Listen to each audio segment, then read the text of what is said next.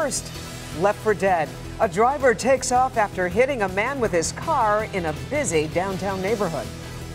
And that tops our news at 11. The man was crossing the street in downtown Detroit when he was hit by a car. Exactly. Later died. It happened this evening on Larned Street at Randolph and Kimberly Gill standing by live. Any idea yet from detectives on who did it, Kim?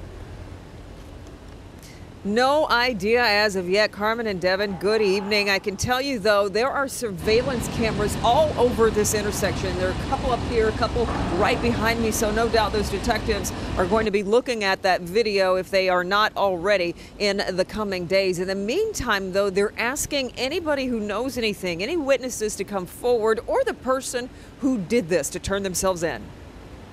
Man, they rushing to work, they rushing from work. It was just a matter of time before somebody got hit. It's just terrible. It's terrible. The accident happened at the corner of Larned and Randolph downtown, about a block from the city county building. I was leaving work earlier. Mm-hmm. The next corner was about to turn and come get on the lodge. Seen a lot of cars, a lot of cars, a lot of police cars. The whole area was taped off. Police say the 64 year old victim was in the crosswalk when he was hit.